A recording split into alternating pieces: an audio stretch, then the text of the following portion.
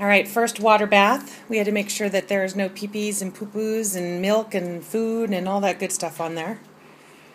So we just gave them a bath and they're licking each other all over. It's so cute. So cute. Look at them. They're all wet dogs, wet dogs. And it's warm out here, so that way they're cool. But